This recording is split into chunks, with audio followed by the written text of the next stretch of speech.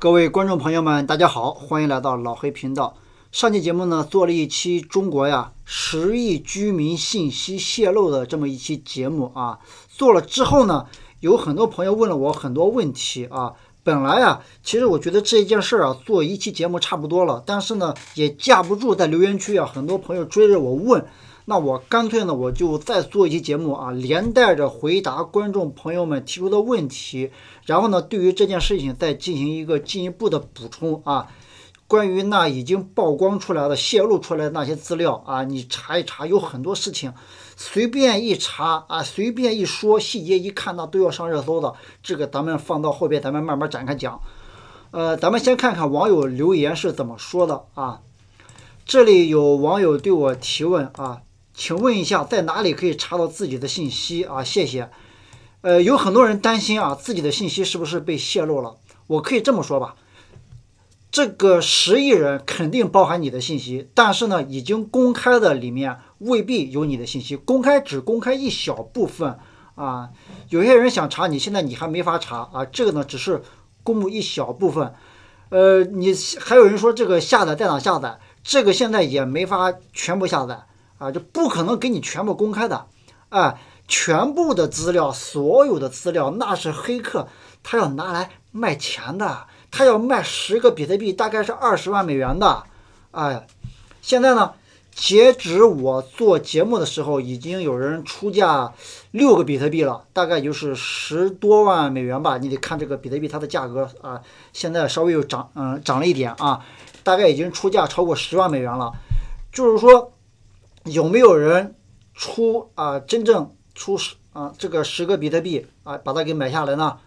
那个这个还真不好讲啊。我觉得你把这个资料要是给给拿过去了，你要是够坏啊，他能够给你带来的钱可远远不止这一点儿啊。当然了，咱就是说，咱就不教人学坏了啊。那么第二个就是说，这个目前公开了多少？目前的公开数据是多少人的数据？是二十五万人的数据啊，全部公开。那现在人家不可能全部公开，他怎么卖钱呢？对不对？你要想查你的这个信息，那除非你出十个比特币，你去买啊。这你买了之后，你估计你是吧？你敲诈贪官都能回本啊？怎么说？不是说不教人学坏的吗？是吧？你拿这些。呃，信息你可以查什么什么什么那些贪官啊，你直接就直接敲名字就可以了。你各省市级呃那些什么啊，这局长那书记了是吧？你直接敲名字搜索关键字是吧？查他的开房记录，几月几号开房记录，跟谁去开房是吧？时间、地点、人物都能够查到。哎，然后呢，你找到他，给他打个电话，或者说给他发一个电子邮件，你的这个信息我有，花钱消灾吧，哎。多少钱？你你找他再要一 要十个比特币，是吧？你看他是给还是不给？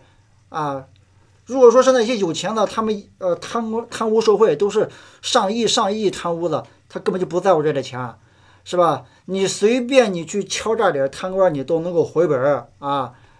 当然了，对于好人，我严重的不建议啊这样去做。这是今天。观众追着我问了两个问题：第一个怎么查信息啊？第二个怎么下载？那这个你就不要想着下载，你也不要查了，只是公开一小部分啊。那么再讲第三个，就是说目前已经公开的这些信息啊，有很大的事儿啊，有很大的问题可以说。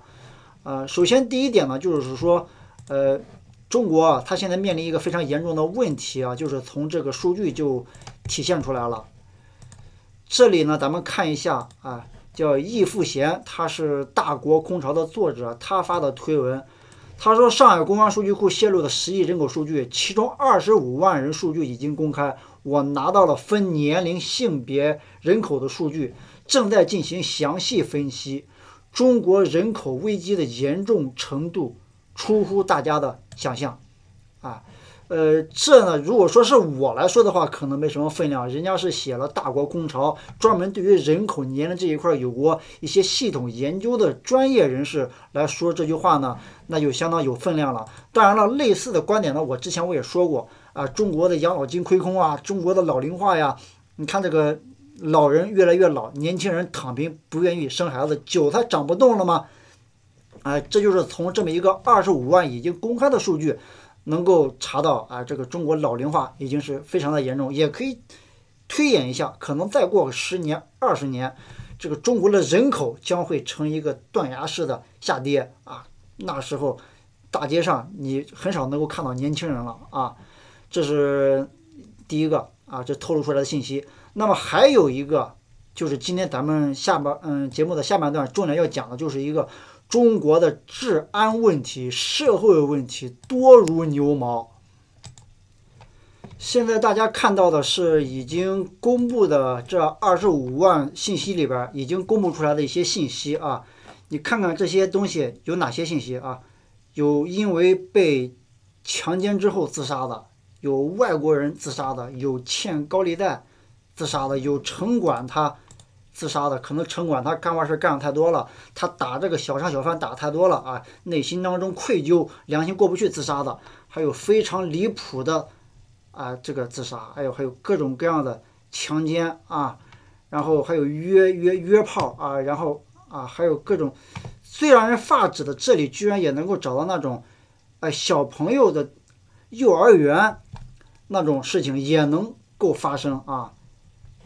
还有什么乱乱乱乱伦的啊？还有那种人口拐卖的，这里还有人口拐卖的都有啊。就是从这二十五万已经公开的这些信息里边，就能够查到这么多社会事件、不良事件。你把你把其中的几件事，你随便你把它细节一还原，估计都能上热搜啊。你说关于那个小朋友事件的？那每一件事，那都是一个红黄蓝事件的翻版呐，还有那些什么，嗯，什么强强奸的，哪一个事件是吧，都有可能是唐山事件的翻版啊。还有那些，呃，还有关于人口拐卖的也有，每每一件事你放大了细节，有可能都是铁链女事件。这是一冰山一角啊，冰山一角啊。今天讲的这只是已经。公开的部分信息，冰山一角，这随便一查，那都是几页都翻不完的各种各样的信息，是吧？这种让人不安的事情，那都是那真的是多如牛毛。但是我们能够看到的呢，已经被曝光出来的，那只是九牛之一毛。这是我们能够，哎，我们无法想象的。这个社会有很多事情是我们所不知道的。那么节目做到这里呢，又感觉中国居民呐，我都不用中国公民了，因为中国人民的身份证后面写的是中国居民啊，都是这个啊韭菜的命运啊，一茬一茬的割啊，一茬一茬的割，是吧？你这一波资料泄露啊，可能余生都要面临一个这个骗子啊，电信诈骗、敲诈勒索啊，或者说要绑架你家里有钱了，他绑架你小孩，是吧？会面临着这些威胁。那么这件事情过去之后呢，有可能啊，这个国家层面马上又来拿这件事情来做文章，啊，干嘛呢？你看到没有？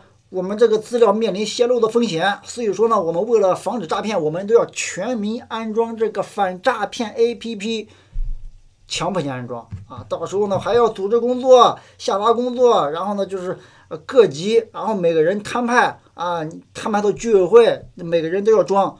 啊，装了反诈骗 APP，再装什么学习强国软件，然后再装其他的其他的，啊，本来人都是裸奔的，就是说本来已经被割了很多茬韭菜了，然后呢，这一波资料泄露过过去之后，还要再被割一波韭菜，让渡出更多的这个权利啊跟自由让给政府啊，你装那个反诈骗 APP 不就是裸奔了吗？那也是裸奔的啊。我在做这期节目的时候呢，还有人说：“哎呀，老黑啊，你操这个心啊，有点操过了。在中国哪有什么隐私呀？在中国你什么隐私，你什么数据不是共产党所掌握的呀？”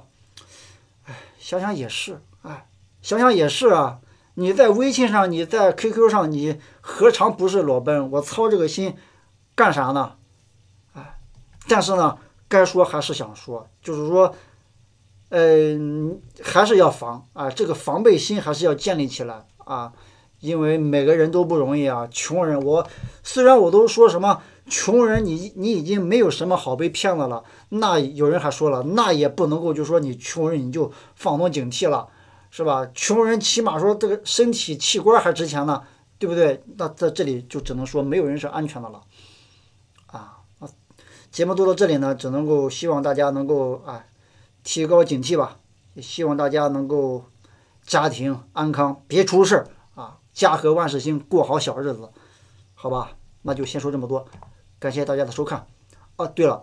节目到最后呢，我要给自己打一个广告。由于我的频道呢目前是被谷歌算法雪藏，我有超过大概百分之八十的观众他收不到我节目的推送，所以说呢，我建立了一个电报广播频道，电报广播群，大家可以加入这个电报群啊。进了电报群就等于说是防失联了，就跟以前在微信时代啊。怕这个平，怕这个什么公众号被删，加这个微信好友是一个意思啊！大家可以加下面的这个呃电报广播群，好吧？